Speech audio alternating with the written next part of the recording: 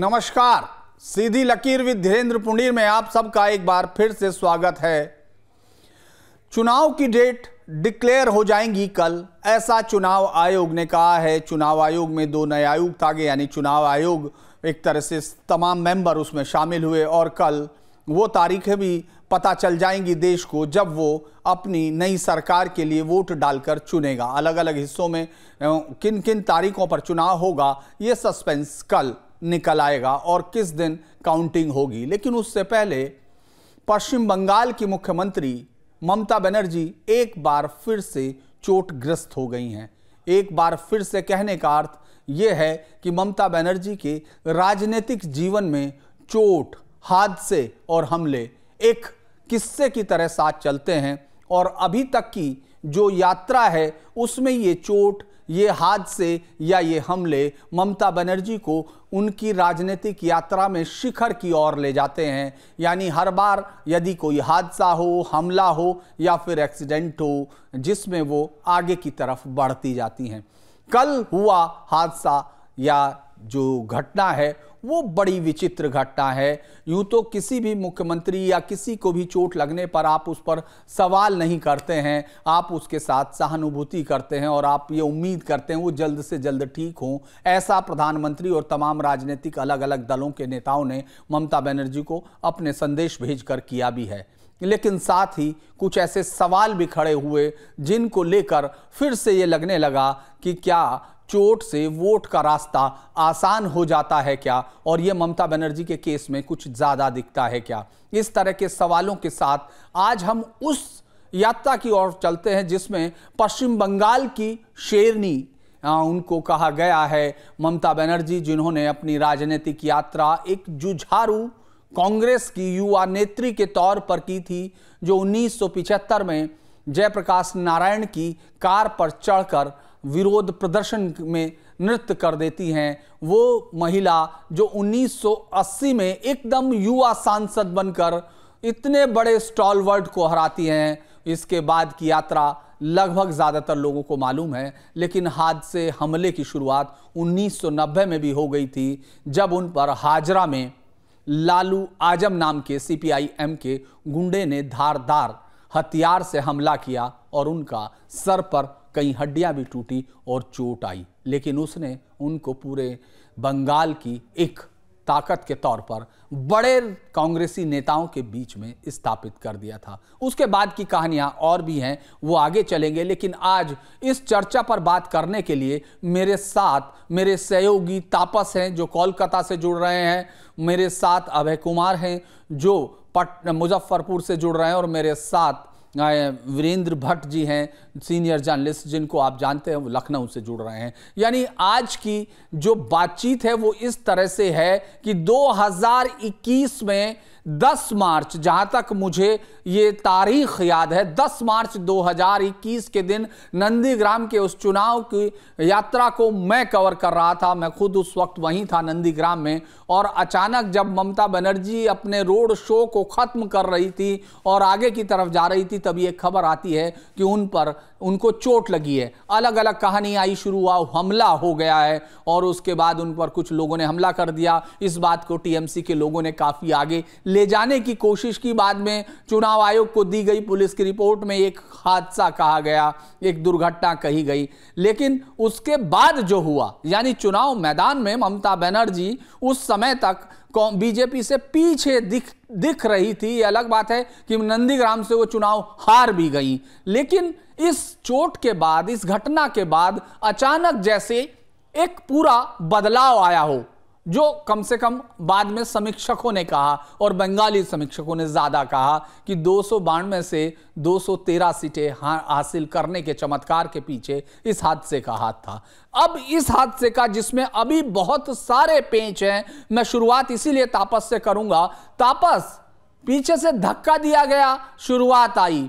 Treadmill से गिरी, शुरुआत आई। फिर उसके बाद चलते चलते पैर उनका कहीं उलझा और उसके बाद उससे चोट लगी। चोट माथे पर है, खून बहता हुआ दिख रहा है, तीन टाके माथे पर हैं, एक नोज़ पर है। लेकिन इसका अभी की डेट में आज, अभी, राजनीतिक तो मैं आपसे बाद में पूछूँगा, अभी क्या जाँच की दिशा है? क्या है? आखिर ये जी देखिए, ममता बनर्जी कल से काफ़ी ज़्यादा बेहतर है और मॉनिटरिंग उनका लगातार चल रहा है। जिसके उनके डॉक्टर्स एक टीम बनाए हैं, वो उनको मॉनिटर भी कर रहे हैं। हालाँकि कल जब उनको अस्पताल लाया गया, तकरीबन साढ़े सात बजे के आसपास उनका काफ़ी ज़्यादा खून बह चुका था और गहरी चोट थी। लेकिन ये अंदेशा लगाया जा रहा था कि कहीं कहीं इंटरनल हैमरेज ना हो, लेकिन बाकायदा एमआरआई करने के बाद और बाकी तमाम टेस्ट करने के बाद ये नतीजे पर पहुँचे। डॉक्टर की चोट बहुत ज़्यादा कोई गहरा नहीं है और ख़तरा बहुत ज़्यादा है नहीं। लेकिन उनको 24 घंटे मॉनिटरिंग के लिए ममता बनर्जी को वो अस्पताल में रखना चाहते हैं। लेकिन ममता बनर्जी तो ममता बनर्जी हैं। वो अपना घर जाने के लिए बार बार ज़िद कर रही थी। इसीलिए उन्हें घर भेजा गया ताकि वो सुकून से रात को सो पाए। ताज़ा खबर के अनुसार आज सुबह से उसके सिर, उनके सिर पे दर्द था। कल कॉन्शियस तो थी, लेकिन काफ़ी ज़्यादा दर्द था। लेकिन आज धीरे धीरे जितना समय बीता वो बेहतर महसूस कर रही हैं, लेकिन उनका क्लोज मॉनिटरिंग चल रहा है और हो सकता है कि आने वाले कुछ दिनों में उन्हें अस्पताल का दौरा एक बार और करना पड़े कुछ चेकअप्स के लिए, क्योंकि ये लाजमी है कि चुनाव का मौसम है और ममता बनर्जी, जो पोस्टर फिगर है तृणमूल कांग्रेस के वो अगर मैदान में ना हो तो फिर तृणमूल के लिए ये तरी पार करना बहुत मुश्किल हो जाएगा। तो इसलिए उनको तो चुनाव मैदान में आना ही है, ये हम उम्मीद कर रहे हैं और वो जल्द से जल्द वो आना चाहेंगी। तो इसलिए वो, उनका उनका, वो खुद भी अपना, अपने हेल्थ को लेकर बहुत ज़्यादा कॉन्शियस है उन खासा ख्याल रख रही है। और डॉक्टरों के सलाह मशवरा के अनुसार वो इस समय घर पे हैं, दवाइयाँ ले रही हैं और अब ठीक है, पहले से उनकी जो स्थिति है उसका हेल्थ कंडीशन बेहतर बता रही है एस की डॉक्टर्स मैंने आपसे पूछा, जाँच की दिशा क्या है? क्या धक्का लगा है? क्या पैर उलझा है? या वो बेड से गिरी हैं? अलग अलग कहानियाँ हैं। डॉक्टर्स कुछ और कह रहे हैं, उनके परिवार के सदस्य पहले कुछ और कह रहे हैं, फिर दूसरे सदस्य कुछ और कह रहे हैं, जो हम अलग अलग बंगाली मीडिया में देख रहे हैं। और यहाँ तक कि इस बात की भी खबर आई है कि पुलिस इसकी जाँच करेगी। जेड प्रोटेक्टी हैं, अपने घर के अंदर हैं। अचानक ऐसा क्या होता है? जाँच की दिशा और जनरल बातचीत क्या कहती है? जी देखिए ममता बनर्जी कल घर पे अकेली तो थी नहीं। उस समय उनके कमरे में कोई और भी मौजूद था, लेकिन उसका खुलासा अभी तक नहीं हो पाया है। लेकिन जो डॉक्टरों ने कल कहा था कि she was pushed from behind यानी पीछे से उन्हें धक्का दिया गया था, लेकिन बाद में डॉक्टर ने ये क्लैरिफाई किया एस के डायरेक्टर ने कि उनको एक हेलुसिनेशन की तरह हुआ था क्योंकि उन उन पर प्रेशर बहुत रहता है। वो रात को कम सोती है और और, जा, और देर रात तक वो काम करती है लेकिन फिर सुबह उठ जाती है फिर काम में लग जाती है और उनका उम्र भी काफ़ी ज़्यादा सत्तर के करीब उनकी उम्र हो चुकी है और जिस तरीके का वो प्रेशर लेती है इस वजह से हमेशा अक्सर ऐसा होता है कि लोग ब्लैकआउट हो जाते हैं। तो कल ऐसा ही कुछ हुआ था अंदेशा लगाया जा रहा है। मेडिकली अगर आप कहें डॉक्टर्स की बात अगर आप कहें तो उनके तरफ़ से क्लैरिफिकेशन आया है कि उन, ये ब्लैकआउट होने के वजह से वो गिर गई थी और किसी धारदार चीज़ से उनके सिर पे चोट लगी थी। लेकिन दूसरी पहलू अगर देखें, इसको लेके कई बातें बताई जा रही है जो जिसकी पुष्टि अभी तक किसी ने नहीं की, कि उनके साथ किसी किसी की बातचीत हुई थी, शायद पीछे से धक्का लग गया था, जिस वजह से वो गिर गई है। इसी वजह से कोलकाता पुलिस ने एक स्पेशल टीम तैयार की है, जिसमें एआरएस के चुनिंदे अफसर्स हैं, यानी एंटी राउडी सेक्शन के ऑफिसर्स हैं, साइंटिफिक टीम है, ये लोग मिलकर एक इन्वेस्टिगेशन कर रहे हैं ताकि कम से कम तय तक पहुँचा जाए कि अगर कोई था अगर या फिर ऐसी कोई हादसा हुआ था अंदर कोई स्कफलिंग हुई थी या नहीं? इस इस तमाम पहलुओं को इस समय खगाला जा रहा है और जानने की कोशिश की जा रही है कि क्या एग्जैक्ट हुआ था क्योंकि ममता बनर्जी की तबीयत अभी भी ख़राब है। उनसे बहुत ज़्यादा उम्मीद करना उस समय क्या हुआ था ब्लैकआउट होने से ठीक पहले या ब्लैकआउट होने के बाद तो उनको कुछ पता ही नहीं होगा। इसलिए थोड़ा थो, थोड़ा धीरे ही सही लेकिन पुलिस भी अपनी एक पैरल इन्वेस्टिगेशन अभी शुरू की है। जी मैं वीरेंद्र भट्ट जी की तरफ़ जाना चाहूँगा। वीरेंद्र जी पैर के प्लास्टर से सर की चोट तक का रास्ता, क्या बीजेपी के लिए कोई परेशानी खड़ी करता है?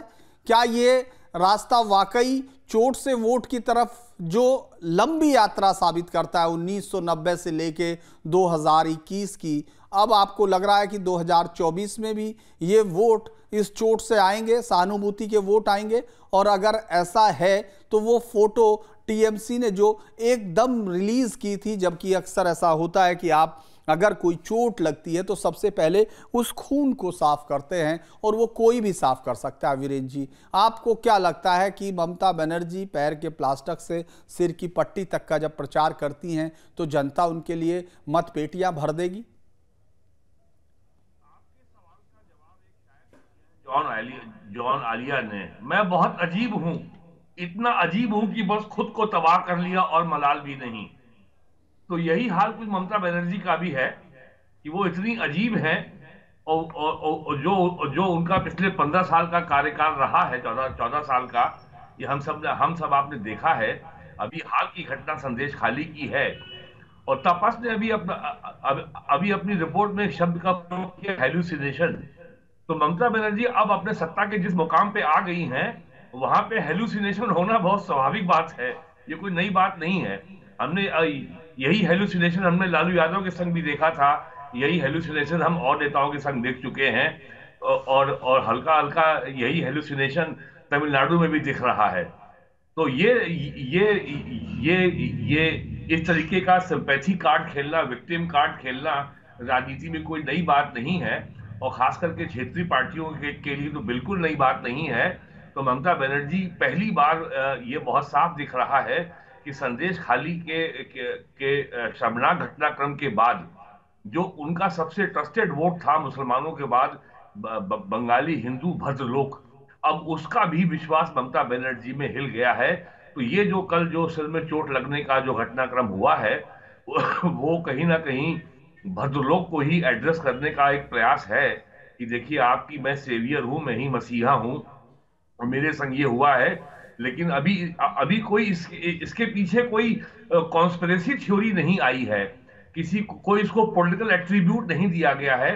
और बड़ा अजीब है कि घर के अंदर इस तरह की घटना हो गई और बाकायदा इतना जो चेहरे पे खून बहता हुआ जो फ़ोटो आया है तो अगर अगर इस तरह की घटना कहीं अगर सार्वजनिक स्थान पे हुई होती जैसे 2019 में जो उनके पैर टूटने की घटना हुई थी वो तो सड़क पे हुई थी चुनाव और चुनाव के दौरान हुई थी लेकिन ये घटना घर के अंदर हुई है तो इसलिए इस घटना को अभी तो 24 घंटा हो गया है ये बड़ी नहीं बन पाई है तो कुल मिलाकर के ये आ, आ, आ, मेरे पास ममता बनर्जी का मेडिकल बुलेटिन मैंने नहीं देखा क्या स्थिति है क्या क्या एक्चुअल उनकी क्या ग्रेविटी ऑफ़ इंजरी है और और कितनी उनके लिए स्वास्थ्य के लिए वो हानिकारक है मुझे इसकी जानकारी नहीं है लेकिन जिस तरह की गिमिक्स वो करती आई हैं और जो उनका लंबा इतिहास रहा है तो तो मुझे लगता है कि ये ये सीधे सीधे आने वाले लोकसभा चुनाव से ही जुड़ा हुआ है और ममता बनर्जी की ये एक डेस्परेट अटेम्प्ट है कि कैसे वो अपने खोए हुए पॉलिटिकल आधार को वापस लें और और और और, और, और, अपनी जगह बनाएँ और जो उनका भद्र लोग मतदाता है या जो या जो और जो मुस्लिम मतदाता है उसके बीच में जो उनका पॉपुलरिटी ग्राफ गिर रहा है कहीं ना कहीं उसको बचाने का ये प्रयास है और, ये कोई ऐसी आ, आ, कोई एकाएक ऐसी घटना नहीं हुई है क्योंकि घर के अंदर हुई है तो इट लैक्स कन्विक्शन की आखिरकार ऐसी घटना घर के अंदर कैसे हो गई। कोई और और, और कोई इसके पीछे कोई कॉन्स्परेसी एंगल या किसी पोलिटिकल विरोधी का नाम या कुछ ऐसा अभी तक तो कुछ सामने नहीं आया है। जी। हाँ देख देखिए ये जो विजुअल आप लोग देख रहे हैं मैं इस यात्रा में भी था ये लंबा छः सात किलोमीटर का तापस और हम दोनों ही उसको कवर कर रहे थे। काफ़ी तेज़ धूप थी और ममता बनर्जी अपने उस पर तमाम आ, उनके तमाम जो लोग थे तमाम कार्यकर्ता और पूरी भीड़ के साथ चलते हुए लोग वहाँ दिख रहे थे। लेकिन आ, ये जो अब पट्टी बांधकर वो चुनाव प्रचार पर जब निकलेंगी तो क्या मतपेटियाँ भर जाएँगी? क्योंकि पैर जब उनका प्लास्टर्ड था, जब वो उस पर बैठकर मंच पर भाषण दे रही थी और उसके बाद जब आई तो एक जो भीड़ का मिजाज था, जिसको बहुत सारे लोगों ने समझने में गलती की, हालाँकि तापस उस वक्त भी हमको कह रहे थे कि ममता बनर्जी काफ़ी आगे दिख रही हैं। इस फैसले को आपने देखा नहीं, इस चोट को। लेकिन मैं अभय जी से पूछता हूँ, अभय जी, आंकड़ों में क्या कहा गया? मतलब तरीका तो वही है, कहानियाँ उसी तरह की हैं, जा उसी तरह रही हैं, चोट अगर लग गई है तो उस चोट को कैसे वोट में बदला जाए, ये भी है तरीका। लेकिन आप क्या कहते हैं? आपका एनालिसिस क्या कहता है?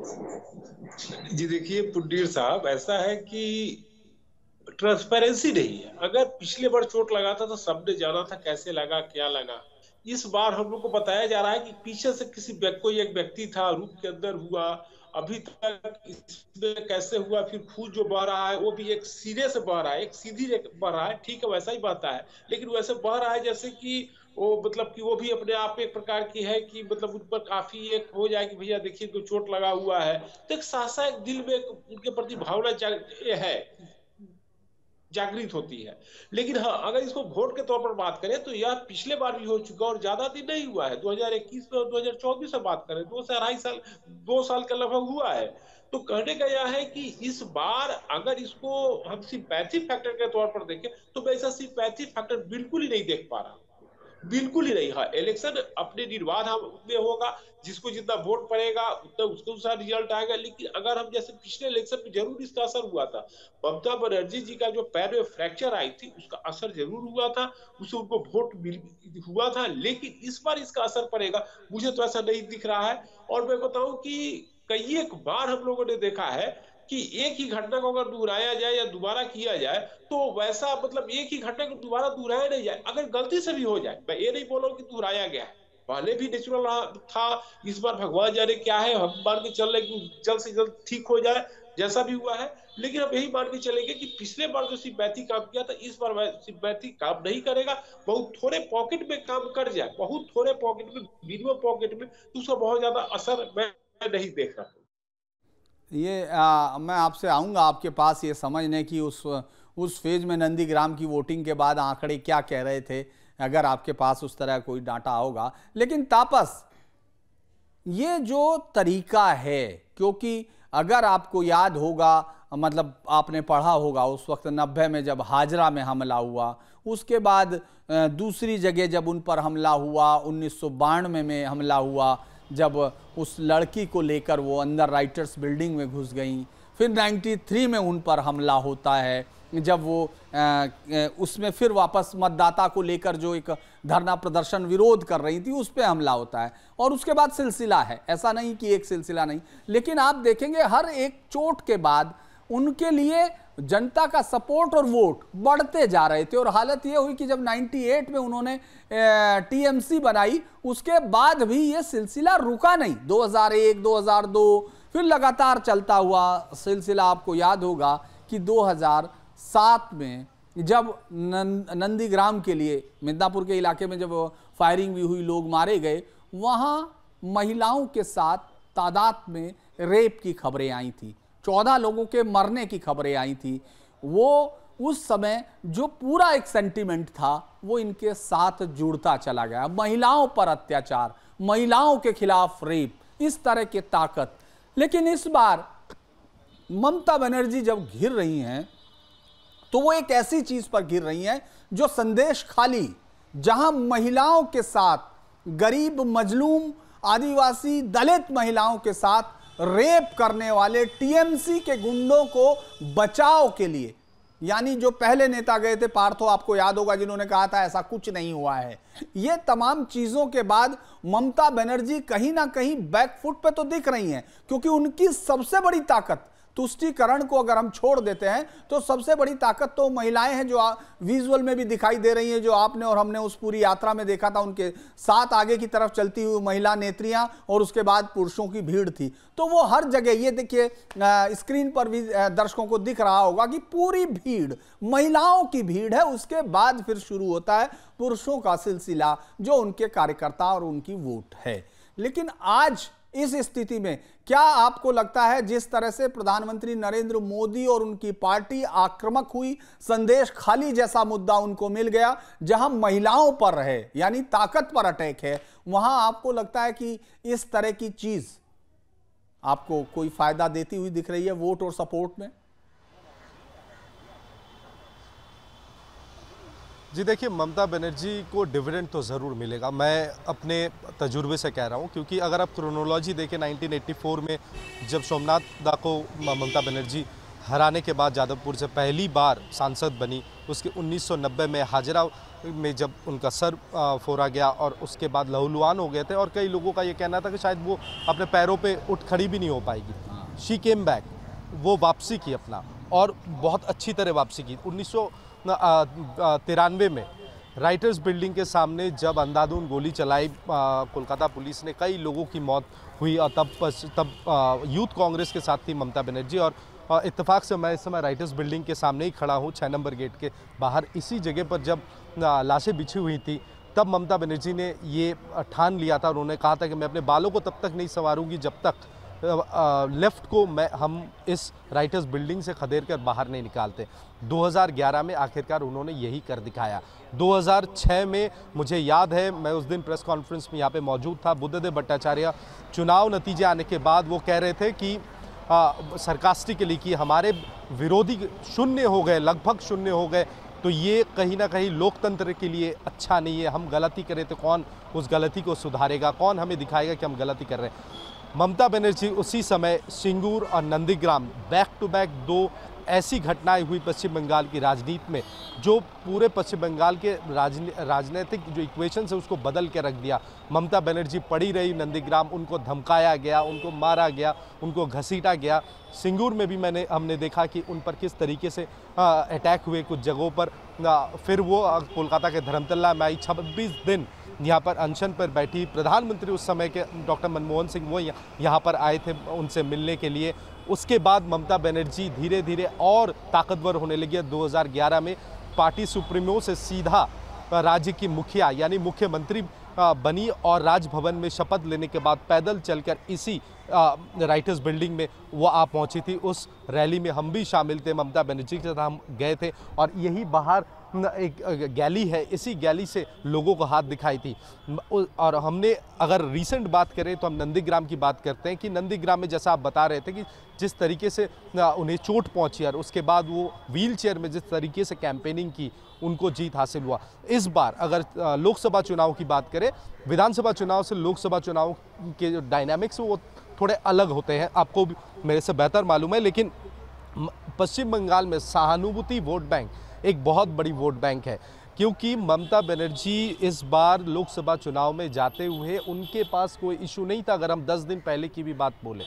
क्योंकि संदेश खली का इशू जो था, करप्शन का इशू पिछले दो सालों से, संदेश खली का इशू पिछले दो महीने से पूरी तरीके से तृणमूल कांग्रेस को घेर लिया था और सारे विरोधी एकजुट होकर बात कर रहे थे और हमला हमलावर थे उन पर। साथ में महिलाओं को हमने देखा, संदेश खली और आसपास के इलाकों में किस तरह से वो सड़कों पर आ गए। तृणमूल कांग्रेस की महिलाएँ सड़कों पर आ गई, विरोध जताने लगी कि ममता बनर्जी को आना पड़ेगा, उन्हें सुनना पड़ेगा हमारी बात। लेकिन ममता बनर्जी ने कोई टिप्पणी नहीं की।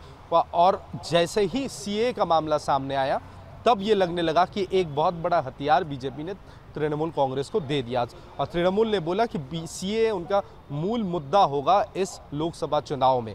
उसी बीच कल रात को ममता बनर्जी को चोट लगती है, वो अस्पताल में जाती है और लहू लुहान, वो चेहरा, जिसको लेकर विवाद भी खड़ा हुआ कि किसी भी हेड ऑफ़ स्टेट या हेड ऑफ़ द कंट्री अगर किसी को इस तरह की चोट लगती है तो शायद इस तरह की पब्लिसिटी पार्टी की ओर से नहीं किया जाना चाहिए, क्योंकि उसमें लॉ एंड ऑर्डर सिचुएशन भी बिगड़ सकता है। लेकिन बावजूद इसको जाने तृणमूल कांग्रेस के ट्विटर हैंडल से पहली बार ये तस्वीरें सामने आई कि वो अस्पताल के बेड पे हैं और उनका ये लहूलियान हालत है। लेकिन जो सूत्रों के मुताबिक है कि ममता बनर्जी कैंपेनिंग में निकलेंगी बहुत जल्द, और ये सहानुभूति वोट बैंक जिसकी बात मैं कर रहा था, इसका भी काफ़ी बड़ा योगदान है पश्चिम बंगाल के पॉलिटिक्स में, खासकर ममता बनर्जी के लिए।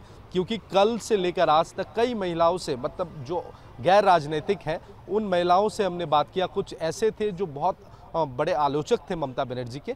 हर किसी का कहना है कि पार्टी ने किया है, लेकिन ममता एज एक महिला जिस तरीके से 15 साल के करीब 12 साल से कुछ ज़्यादा वक्त वो जिस तरीके से एडमिनिस्ट्रेशन हैंडल कर रही है, जितना प्रेशर वो लेती है, लोग जानते हैं कि वो रात को सोती कम है, लोगों के लिए काम करना चाहती है, लेकिन उसके पार्टी के कुछ लोग उन्हें बदनाम करने की कोशिश में लगे हुए हैं, जुटे हुए हैं। कुछ ऐसी महिलाएँ भी हैं जिनको बेनिफिट्स मिलते हैं स्टेट स्कीम्स के। वो भी कह रहे हैं कि ममता दीदी है तो फिर हम हम हम रहेंगे, अच्छी तरह रहेंगे। लेकिन अगर पार्टी है तो फिर हमें सोचना पड़ेगा और हर कोई दुख व्यक्त कर रहा है कि ममता बनर्जी को चोट पहुँचा, चाहे वो आप गैर राजनीतिक किसी की बात करें, महिलाओं की बात करें, या फिर कोई आम महिला की बात करें, या राजनीतिक विरोधी महिलाओं की बात करें जो पार्टी का कार्यकर्ता है तो उनके मन में भी कहीं ना कहीं ये सहानुभूति है। और यही सहानुभूति कहीं ना कहीं वोट बैंक में तब्दील हो जाए।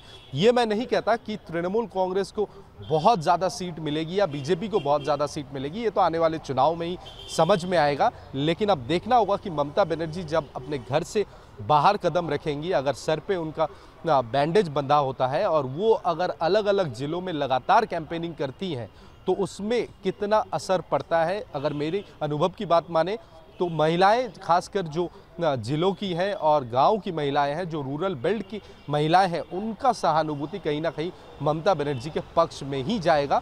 जैसे नरेंद्र मोदी बीजेपी के लिए है, ठीक वैसे ही ममता बनर्जी तृणमूल पार्टी के लिए वो पोस्टर वुमन है, पार्टी का, और वो पोस्टर वुमेन अगर इस हालत में कैंपेनिंग करती है तो कहीं ना कहीं जो रूरल वोट बैंक है, वो कहीं ना कहीं तृणमूल कांग्रेस के खाते में जाने की एक बड़ी संभावना कम से कम मुझे इस समय नज़र आ रहा है। धन्यवाद आपका जुड़ने के लिए। मैं बाकी सबसे बात करूँगा। मैं जाता हूँ वीरेंद्र जी के पास। वीरेंद्र जी ये जो संदेश खाली का जवाब है, है। मैं आप ही के पास आ रहा था। जी वीरेंद्र जी, आ, जी, जी। आ, आप अपनी बात करें। मेरे साथ सहयोगी तापस अब जा सकते हैं उनको जाना है एक अपॉइंटमेंट पे। जी, जी आप बात कीजिए। जिस तरीके से फरवरी मार्च में संदेश खाली को लेकर के पूरे देश में विदेश में संदेश खाली की जो शर्मनाक घटनाओं की चर्चा हुई है और जिस तरीके से प्रधानमंत्री ने बंगाल में मार्च के महीने में अपनी दो यात्राओं के दौरान संदेश खाली को मुद्दा बनाया देश का ध्यान आकर्षित किया ममता बनर्जी को को, को उन्होंने को उन्होंने घेरा तो ये कहीं ना कहीं ये ये उसी संदेश खाली को लेकर के ममता बनर्जी का डिफेंसिव मैकेनिज्म है। ममता और और जितनी क्षेत्रीय पार्टियाँ होती हैं चाहे उत्तर प्रदेश हो चाहे बिहार हो हो या या बंगाल हो क्षेत्रीय पार्टियों की राजनीति चलती ही केवल गिमिक्स के ऊपर है। ट्रंप कार्ड के आधार पर चलती है। आ, आज आ, आज ये उनका कार्ड आ गया परसों नया कार्ड आ गया। क्योंकि कोई क्षेत्रीय पार्टियों में सबसे बड़ी समस्या है कि उनके पास कोई ऑर्गेनाइज इंस्टीट्यूशनल पॉलिटिकल मैकेनिज्म नहीं होता कोई स्ट्रक्चर्ड हायरार्की नहीं होती कोई इंस्टीट्यूशनल मैकेनिज्म नहीं है जिससे कि जिससे पार्टी चलती हो। पूरा जो है एक व्यक्ति के, ऊपर मामला आधारित होता है। वो चाहे समाजवादी पार्टी हो बहुजन समाज पार्टी हो राष्ट्रीय जनता दल हो या ममता बनर्जी की पार्टी हो या तमिलनाडु में डीएमके हो तो सारा सारा दारमोदार ममता बनर्जी के ऊपर ये पार्टी माने ही होता है सुप्रीमो नेता सुप्रीम नेता जिसे सुप्रीमो कहा जाता है। तो वही ममता बनर्जी है वो केवल पार्टी में बस वही है जो कुछ है या नंबर दो है तो वो उनका भतीजा है। तो और चुनाव सर पर है, संदेश खाली वाला जैसी गंभीर शर्मनाक घटना हो चुकी है।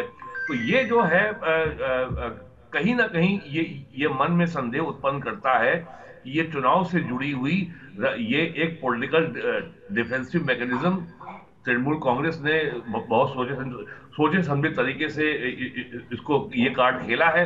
और ममता बनर्जी की एक बात और भी है वो जब भी आती है जनता के बीच में निकलती हैं तो हमेशा वो प्लास्टिक की चप्पल पहनती हैं।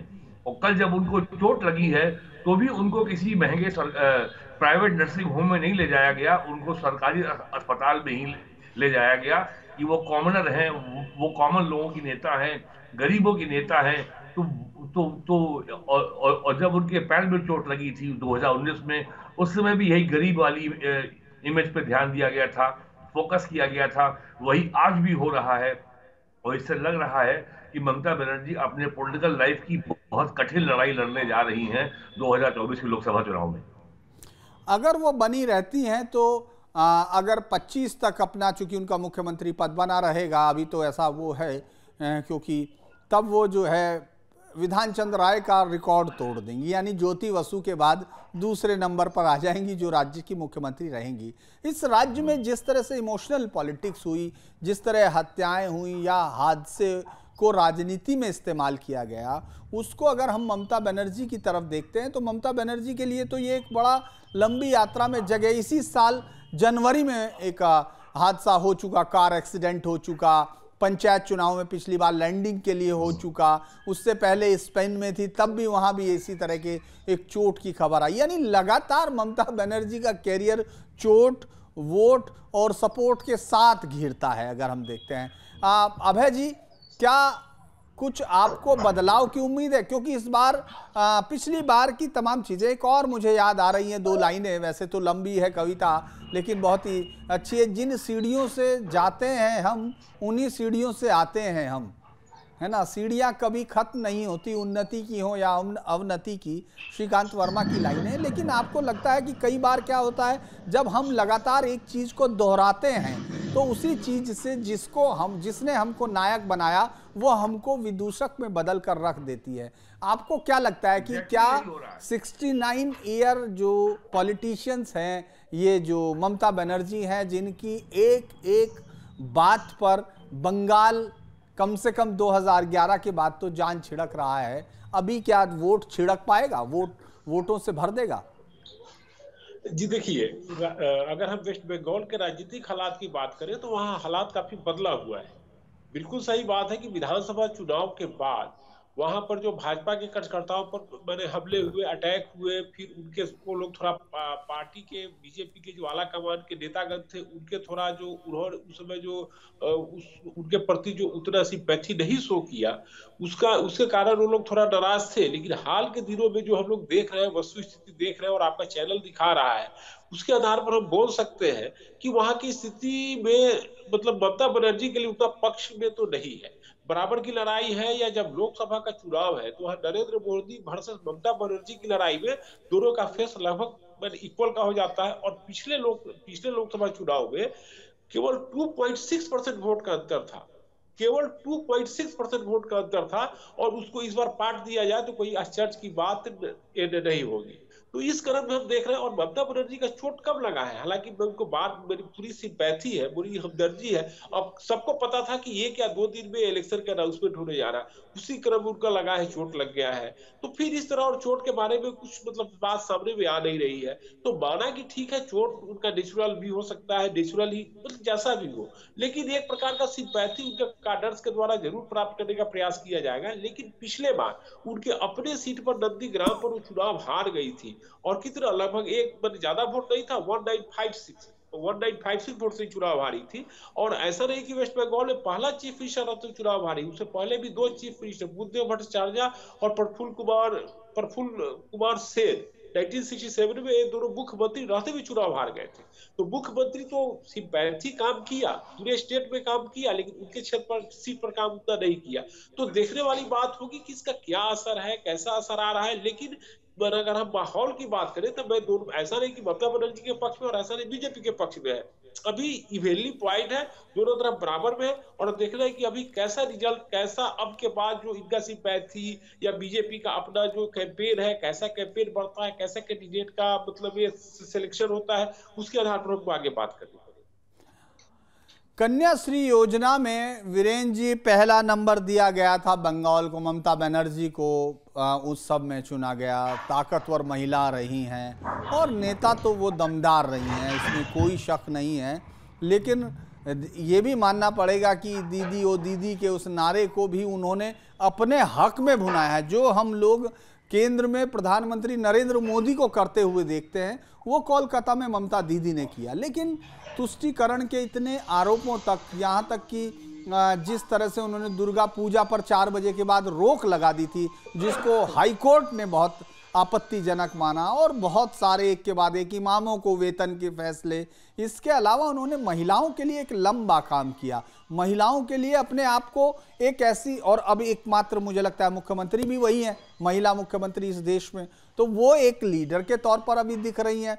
लेकिन कहीं एक ही दांव जब आप बार बार आजमाते हैं तो लोगों में भी उसका बहुत ज़्यादा इम्पैक्ट नहीं रह जाता। और इस वक्त जिस तरह से चुनाव आर पार का हो रहा है और महिला इशू है, इस बार बीजेपी तोला मूल के मुद्दे पर नहीं है। बीजेपी करप्शन के इशू पर नहीं है। बीजेपी इस बार जो बंटवारा, रीजनल और ये कम्युनलिज्म, ये तमाम चीज़ों पर नहीं है। सीए का मुद्दा उनको कैसे सपोर्ट करेगा मुझे समझ में नहीं आता कि ममता बनर्जी को उससे कोई हेल्प मिलेगी, क्योंकि जो मुस्लिम वोट है वो 96 परसेंट से ज़्यादा उनको मिल चुका है। यानी वो मुस्लिम लीग से ज़्यादा मुस्लिम वोट हासिल करने वाली महिला हो चुकी हैं, चूँकि उस वक्त मुस्लिम लीग में सोरावर्दी तो था ही, साथ में शेख मुजिबुर रहमान भी था। यानी जो सबसे ताकतवर मुस्लिम लीग लीडर थे, उनसे भी ज़्यादा, उनके बराबर या उनसे ज़्यादा वोट वो ले चुकी हैं।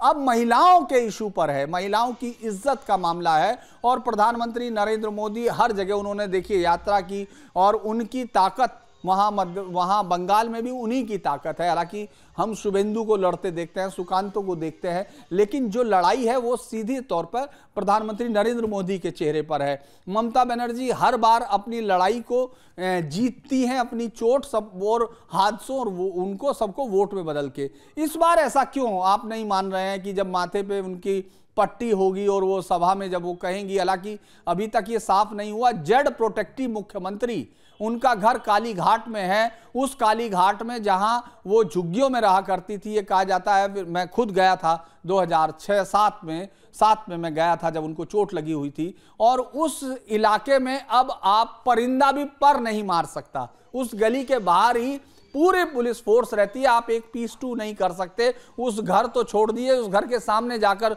जो सड़क है उस पर खड़े होकर नहीं कर सकते। उनके घर की तरफ़ कैमरा नहीं कर सकते हैं। घर तो बहुत अंदर जाके गली की तरफ़ नहीं कर सकते हैं। इसके बावजूद आपको नहीं लगता जब वो माथे पर अपनी पट्टी लेके वोट मांगेंगी तो जनता भूल जाएगी कि मोदी किस लिए आए हैं? ऐसा लगता है क्या? वीरेंद्र जी? ममता बनर्जी के खिलाफ जो जो मुद्दों की जो जो सूची है, अब वो बढ़ती जा रही है। केवल नागरिकता कानून नहीं है, संदेश खाली भी है करप्शन भी है अपीजमेंट भी है। और आप अगर करप्शन की बात लें तो जिस तरीके से टीचर भर्ती घोटाले में, नगर निकाय भर्ती घोटाले में उनका एक मंत्री जेल में है, जिस तरीके से केंद्र सरकार ने मनरेगा योजना के लिए कई हज़ार करोड़ रुपए का जो भुगतान है, राज्य सरकार को रोक रखा है यहाँ तक कि मनरेगा जो जो उनके आधार कार्ड हैं, वो भी डीएक्टिवेट कर दिए हैं केंद्र सरकार ने ताकि पेमेंट ना हो। तो अब भ्रष्टाचार भी बहुत ज़्यादा और और आपको अगर ध्यान हो, इसी महीने अपने मार्च में अपनी अपनी यात्रा में प्राइम मिनिस्टर ने इसके ऊपर बहुत ज़ोर दिया था, ये आपका पैसा है, जनता का पैसा है जो आप तक नहीं पहुँच रहा है। उन्होंने ये भी बड़ा एक मुद्दा उठाया था कि केंद्र सरकार की योजनाओं का लाभ ममता बनर्जी उन तक नहीं पहुँचने दे रही है कि शायद इससे उनका पॉलिटिकल नुकसान हो सकता है। तो ममता बनर्जी के के खिलाफ अब अब जो है अब अब अब मुद्दे एकाएक अब इकट्ठे हो चुके हैं। उन्होंने 2019 में फाइट बैक कर लिया 2021 में फाइट कर लिया। लेकिन अब मुझे लग रहा है 2024 में अगर स्थिति ये है तो 2025 में या 26 अप्रैल में जब चुनाव होगा, तब तब तक कुछ मुद्दे और बढ़ ही जाएँगे। क्योंकि जो मैंने देखा है अब तक की राजनीति का इतिहास, जब नेता पीक पे आ जाते हैं तो फिर फिर उनमें अब ममता बनर्जी का जो जो इस समय पॉलिटिकल कैरियर में वो जिस स्टेज पे हैं, अब वो केवल अपनी ही not only fighting a political battle अब ममता बनर्जी नैरेटिव पे कंट्रोल करने की लड़ाई भी लड़ रही हैं। और नैरेटिव उनके हाथ से बहुत तेज़ी से उनके हाथ से फिसल रहा है और कल की जो घटना उनके घायल होने की ये है, ये उसी नैरेटिव पे कंट्रोल फिर से वापस पाने का एक हताशा भरा एक अटेम्प्ट है।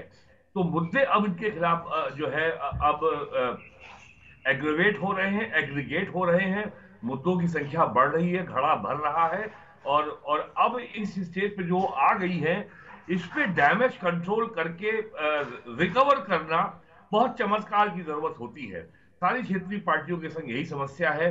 समाजवादी पार्टी के संग, बहुजन समाज पार्टी के संग यही कुछ हो चुका है।